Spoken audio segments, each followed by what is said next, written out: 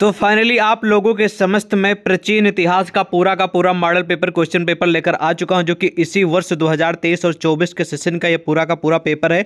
यदि आपकी परीक्षा लगी हुई है तो आपको ये वीडियो देखना बहुत ही ज़रूरी क्योंकि इस वीडियो से आपको काफ़ी हेल्प मिलेगी।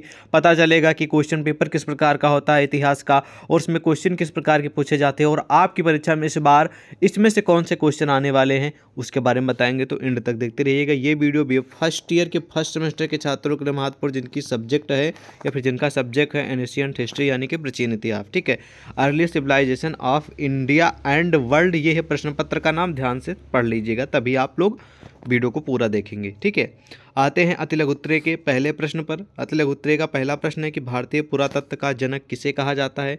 तो थोड़ा आपको मॉडल पेपर जो क्वेश्चन पेपर भेजा गया छात्रों के द्वारा, लेकिन थोड़ा यहाँ पर आपको हल्का ब्लर मतलब कि क्लियर नहीं दिख रहा होगा, लेकिन भाई छात्रों के द्वारा आप ही द्वारा भेजा जाता है, ठीक है? तो आप लोग थोड़ा मैनेज कर लीजिएगा, ठीक है? हम फ़िलहाल क्वेश्चन पढ़ देंगे, ठीक है, अच्छे से। भारतीय पुरातत्व का जनक यानी कि फादर किसे कहा जाता है? तो यहाँ पर आप लोग लिखेंगे कि सर, ठीक है, अले, ठीक है, अलेक्जेंडर को, कौन है? अलेक्जेंडर जी जो हैं, इन्हीं को कहा जाता है भारतीय पुरातत्व का जनक। ठीक है, किसको? सर, अलेक्जेंडर को कहा जाता है पुरातत्व का जनक। ठीक है, याद रखेंगे। अगला प्रश्न है कि वेदों का संकलन किसने किया? ये भी महत्वपूर्ण प्रश्न है, ठीक है? तो इसके बारे में भी जान लेते हैं, काफ़ी हेल्पफुल क्वेश्चन है।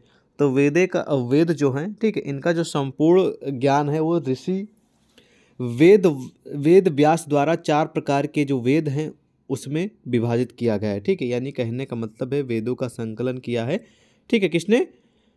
ऋषि व्याद बेस ने। व्याद बेस जी हैं, जो कि एक प्रमुख ऋषि और, ठीक है, महा महर्षि ऋषि हैं, ठीक है? ओके नेक्स्ट क्वेश्चन है कि ऋग्वैदिक आर्यों की प्रमुख आजीविका क्या थी? ये सारे जो क्वेश्चन हैं, ये आप सभी के एग्ज़ाम के लिए महत्वपूर्ण है तो इनको ज़रूर तैयार करके जाएँ ताकि आपको हेल्प मिले, ठीक है? ये प्रश्न कह रहा है कि भैया, जो ऋग्वैदिक के जो आर्य लोग थे, उनकी जो जीवन था, ठीक है, उसका क्या साधन था, ठीक है? तो बहुत ही महत्वपूर्ण प्रश्न है, आपको जानना भी चाहिए। तो उनके जो आजीविका थी, उस, वो थी पशुपालन, ठीक? वो क्या करते थे? पशुपालन का काम करते थे, पशुओं को पालते थे, ठीक है? ऋग्वैदिक के जो आर्य लोग थे, ठीक है? तो पशुओं का पालन ही उनका एक आजीविका का प्रमुख साधन था। पशुपालन, पशुओं का चारण ही उनकी आजीविका का प्रमुख साधन था। ध्यान रखेंगे। काफ़ी हेल्पफुल क्वेश्चन है। कई बार रिपीटेड है। अगला बहुत ही टॉप लेवल का, जो कि आपकी परीक्षा में आएगा ही आएगा कि हड़प्पा सभ्यता किसे कहते हैं? हड़प्पा सभ्यता के बारे में बताइए। हड़प्पा सभ्यता कहाँ स्थित है? ऐसे प्रश्न आपको देखने को मिलेंगे, ठीक है? तो इसका उत्तर आप लोग लिखेंगे सिंपल सा कि जो हड़प्पा सब, ठीक है, हड़प्पा स्थान है ठीक है? ये जो है ना, सहवाल ज़िला सहवाल ज़िला में है, ठीक है? और पंजाब पाकिस्तान में लगता है, ठीक है? कहाँ पर है? आप इस प्रकार लिखेंगे कि ध्यान से सुन लीजिए ताकि आपको हेल्प मिले, ठीक है? आपके एग्ज़ाम पे। जैसे प्रश्न आएगा कि हड़प्पा कहाँ स्थित है तो आप लिखेंगे, हड़प्पा, ठीक है? पंजाब यहाँ पर स्थित है। पाकिस्तान के पंजाब प्रांत के, ठीक है? मोन्टगोमरी ज़िले में स्थित है।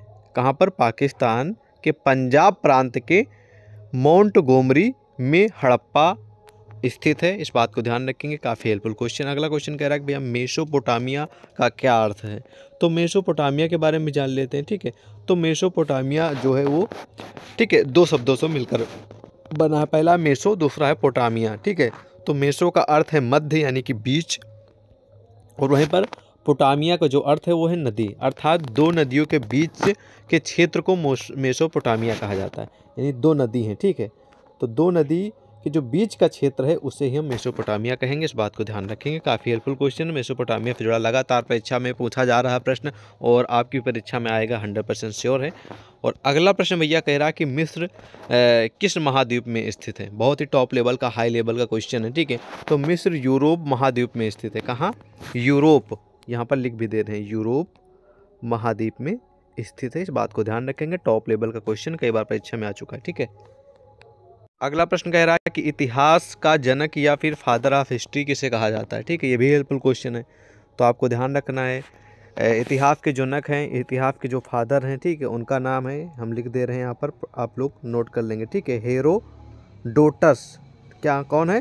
हेरो डोटस बहुत ही महत्वपूर्ण, बहुत ही हाई लेवल का प्रश्न है आप सभी के एग्ज़ाम के लिए और इतिहास पढ़ ही रहे हैं तो इतिहास के फादर, इतिहास के पिता को आपको जानना चाहिए। हेरोडोटस से इसकी शुरुआत हुई। हेरोडोटस को इतिहास का पिता कहा जाता है। ऐसा इसलिए है क्योंकि वह सबसे पहले आधिकारिक ऐतिहासिक पाठ के लेखक थे। उन्होंने रोमन राजनेता सिसरो से इतिहास के पिता का खिताब अर्जित किया है। ठीक है तो इसलिए इन्हें इतिहास का जनक कहा जाता है। अगला प्रश्न बहुत ही महत्वपूर्ण प्रस्तुत है, जो कि आप लोग सुनते भी हैं, जानते भी हैं, अच्छे से तो जो गायत्री मंत्र पढ़ते हैं, सुनते हैं आपसे भी उसका उल्लेख जो है वो चार वेद हैं, ठीक है? इन चारों वेद में किसमें इसका उल्लेख मिलता है? किस वेद में? ठीक है? तो चलिए इसके बारे में भी जानते हैं, बहुत ही महत्वपूर्ण प्रश्न है, ठीक है?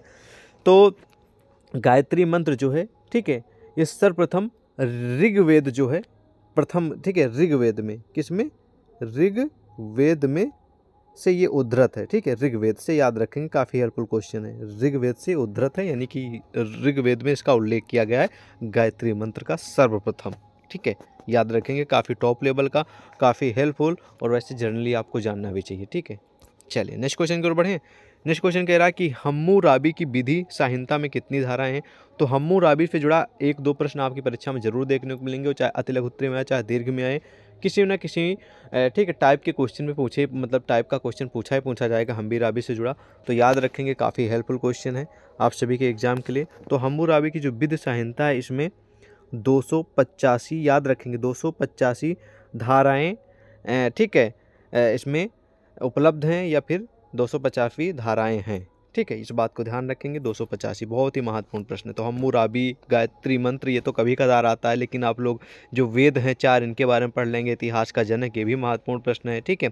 काफ़ी हेल्पफुल क्वेश्चन है। मिस्र ठीक है, मिस्र से जुड़ा क्वेश्चन आएगा, मेसोपोटामिया से जुड़ा क्वेश्चन आएगा, हड़प्पा सभ्यता से जुड़ा क्वेश्चन आएगा तो इन क्वेश्चनों का आप ज़रूर फोकस कर लेना, ठीक है? सब महत्वपूर्ण प्रश्न आपके एग्ज़ाम के लिए, जो हमेशा रिपीट होते हैं। अब खत्म होते हैं, अति लघुत्तरे, अब आ जाएँगे लघुत्तरे। लघुत्तरे में आपको पूरी दिशा निर्देश यहाँ पर दी गई कितने प्रश्न का उत्तर, कितने शब्दों में देना, कितने प्रश्न करना है, सारी जानकारी दी जाएँगी, आपका पेपर होगा तो उसमें भी पूरी जानकारी आप पढ़ लेंगे, उसके बाद हर एक प्रश्न को समझ के उत्तर देंगे, इस बात को नोट रखिए आप सभी, ठीक है?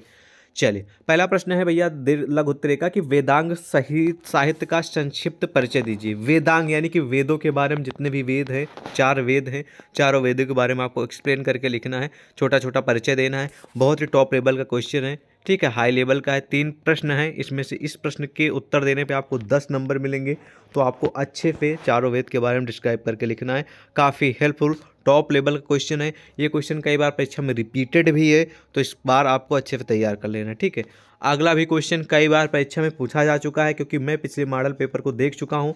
सिंधु सरस्वती सभ्यता के विस्तार का वर्णन कीजिए। यह भी कई बार परीक्षा में रिपीटेड है तो सिंधु सरस्वती सभ्यता के बारे में आपको अच्छे से तैयार कर लेना है। काफ़ी टॉप लेवल का, काफ़ी हेल्पफुल क्वेश्चन है। इन सभी क्वेश्चनों का उत्तर हमने महासंग्राम वीडियो में कवर करा रखा है, आपने नहीं देखा तो ज़रूर देखिएगा, लेकिन ये महत्वपूर्ण प्रश्न है इसको ज़रूर तैयार कर लीजिएगा इसका उत्तर, ठीक है? सेम उसी तरह क्वेश्चन नीचे वाला भी है कि सिंधु सरस्वती सभ्यता के साथ वैदिक संस्कृत के अंतर संबंध पर प्रकाश डालिए, ठीक है? तो ये भी काफ़ी हेल्पफुल क्वेश्चन इनमें से इनमें से कोई ना कोई क्वेश्चन फंस जाएगा आपकी परीक्षा में। टॉप लेवल के हैं तो ध्यान रखेंगे, ठीक है? आप सभी ओके नेक्स्ट क्वेश्चन की ओर बढ़ते हैं। नेक्स्ट क्वेश्चन कह रहा कि भैया, रामायण महाकाव्य में वर्णित नैतिक मूल्यों का संक्षिप्त परिचय दीजिए, यानी कि रामायण जो है, ठीक है? इसमें कुछ नैतिक चीज़ें हैं, ठीक है, जो कि वर्णित हैं उसमें, उसके मूल्यों के बारे में आपको लिखना है, ठीक है। हेल्पफुल क्वेश्चन है, रामायण, महाभारत से जुड़ा क्वेश्चन एक ना एक फंसेगा आपकी परीक्षा, इतिहास में बी ए फ़र्स्ट ईयर के फ़र्स्ट सेमेस्टर में हंड्रेड परसेंट श्योर है तो आप तैयार ज़रूर करके जाएगा महाकाव्य के बारे में, रामायण जो है, और प्लस महाभारत, इन दोनों के बारे में आपको तैयार कर लेना है, आएगा पक्का इनमें से एक प्रश्न फंसेगा। अगला क्वेश्चन कह रहा है भैया प्राचीन सभ्यता के उदय में नदी घाटियों के योगदान की विवेचना कीजिए यानी कि जो प्राचीन सभ्यताएँ का स्टार्टिंग हुई है, ठीक है, उसमें जो नदी घाटियाँ रही हैं, उनका क्या कंट्रीब्यूशन रहा, उनका क्या योगदान रहा है, उसके बारे में आपको एक्सप्लेनेशन करना है। इन सभी को मैंने महासंग्राम वीडियो में कवर भी करा रखा है और फाइनली देख लीजिए, आप सभी खुद ही देख पा रहे होंगे कि पेपर में सब प्रश्न पूछे भी जा रहे हैं, ठीक है, आप लोग कितना समझ, आप खुद ही समझ लीजिए। अगला क्वेश्चन भी मैंने आपको अच्छे समझाया कि सुमेरियन सभ्यता के बारे में पढ़ लीजिएगा। जिगुरत पर एक संक्षिप्त टिप्पणी लिखी देखिए, जिगुरत ये अति लघु उत्तर में ज़्यादा आता है, लेकिन यहाँ पर लघु उत्तर में पूछा गया। सुमेरियन ये भी क्वेश्चन आता है, कई बार परीक्षा में रिपीटेड है तो अच्छे पर ज़रूर तैयार करके जाएँगे। ये प्लस पॉइंट है आप सभी के लिए यहाँ पर। हम आपको ऐसे नहीं बता रहे, हम एक्सपीरियंस और अपने हंड्रेड परसेंट एक्यूरेसी के साथ अपने नॉलेज के के तौर पे हम आपको बता रहे हैं कि ज़रूर तैयार कर लीजिएगा, ठीक है?